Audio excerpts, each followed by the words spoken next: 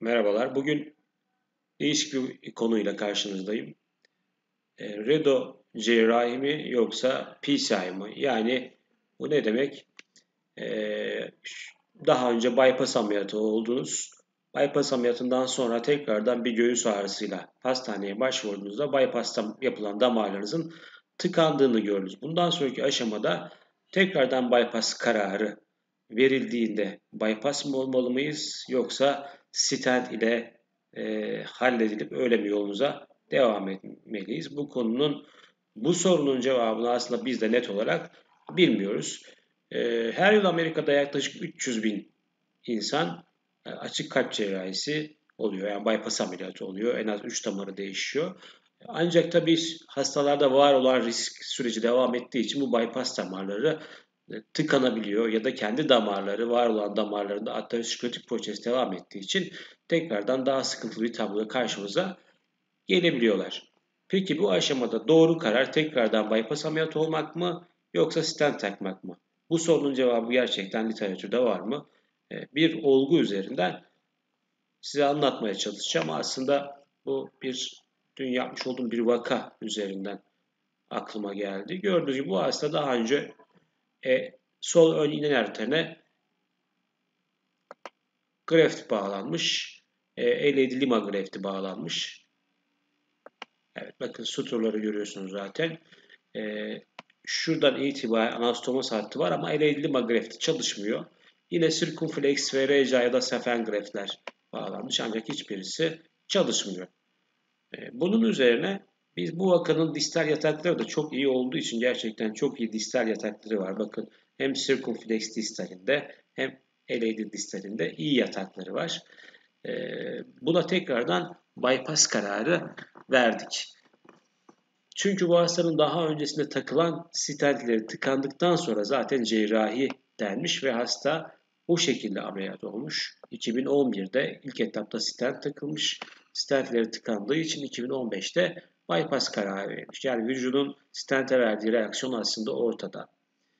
Bunun üzerine bypass'tan sonra tekrardan damarla tıkalı olarak geldiğinde de baktığımızda bakın çok iyi kaliteli bir distal yatak var.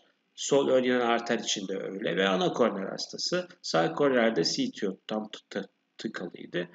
E, hasta cerrahi kararı verdik ve e, cerrahi hastayı gördü. Riskini yüksek buldu. Hasta da ameliyat olmak istemedi. Tabii doğru karar hekimler açısından cerrahi ama hastalar bazen bu riski almak istemiyor ya da bir daha cerrahi olmak istemiyor. Çünkü cerrahinin ikinci kez yapılan cerrahide bazı riskler de var. İşte doku çok yapışık oluyor, perikard çok yapışık oluyor, miyokarda oradaki damarları tekrar disek etmek kolay olmuyor. Cerrah açısından da aslında kolay bir operasyon olmuyor ikinci operasyon.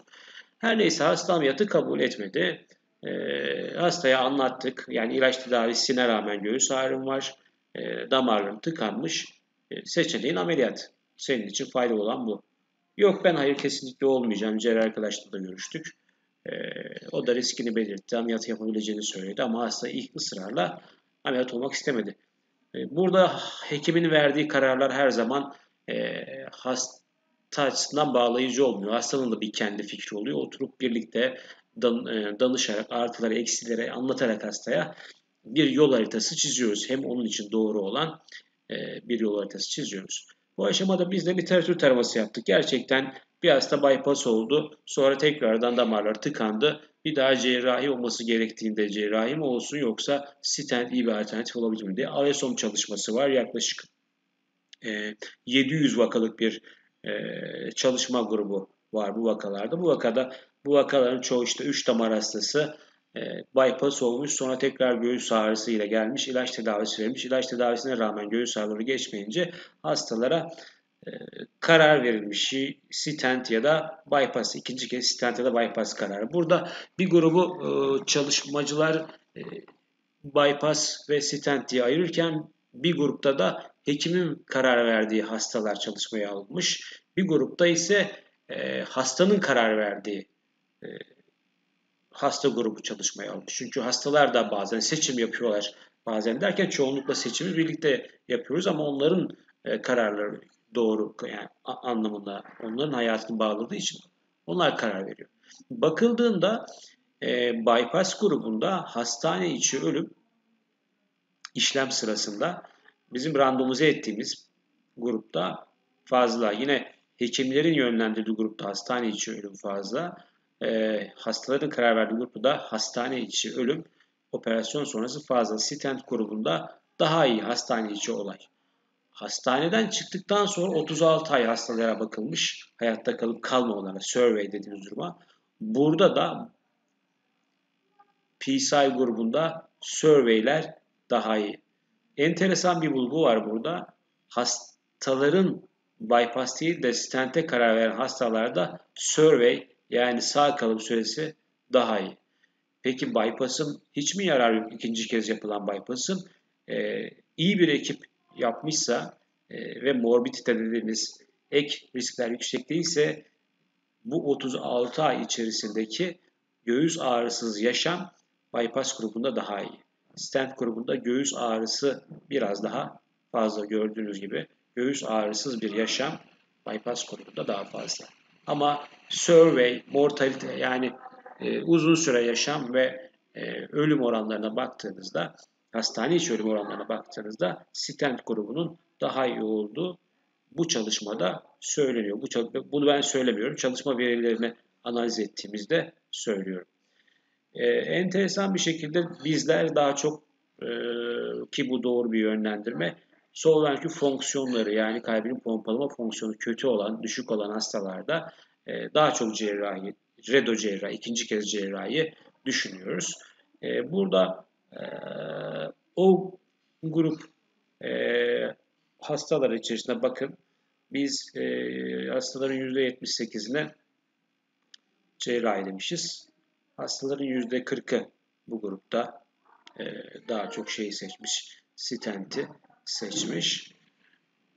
Şimdi biz bu vakaya ne yaptık? Bu bir ana koroner vakası ve çok bypass hastalarda yani damarlar çok kireçli olduğu için öyle kolay balonlarla falan açılmıyor. Buraya ya aterektomi dediğimiz tıraşlama işlemi yapacaksınız ya da cutting balon dediğimiz böyle testere tarzında telli balonlar var. Onlarla bu bölgeyi kırmanız gerekiyor ki iyi bir hazırlık yapmazsanız bu damarlara stent koymanız mümkün değil. Biz önce bu bölgeleri 2-20 balonlarla genişlettikten sonra cutting balon dediğimiz e, balonlarla bu kireçli bölgeleri parçaladık. Kireçli bölgeleri parçaladıktan sonra bakın stent içlerinde de daralma var.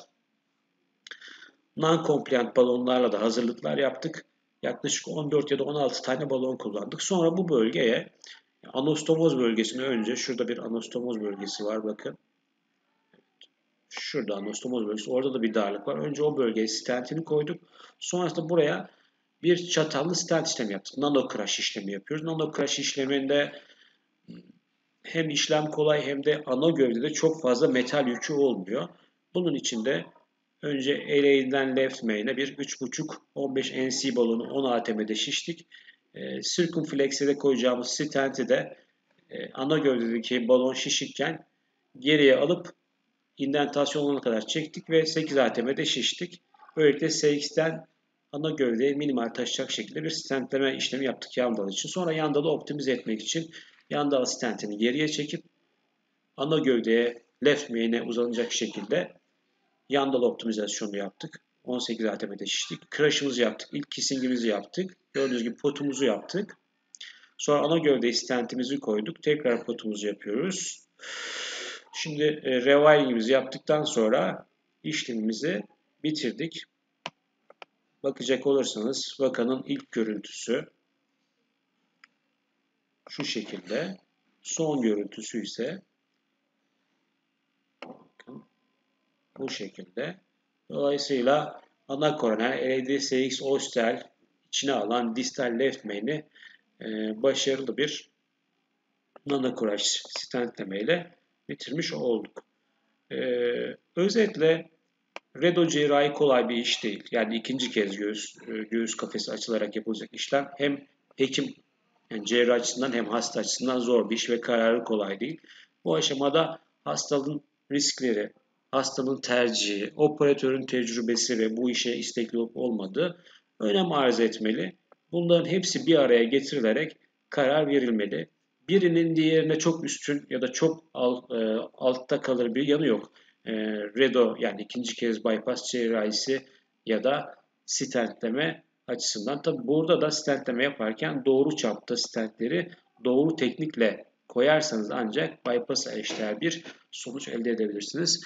Beni dinlediğiniz için teşekkür ediyorum. Bir başka olguda görüşmek dileğiyle.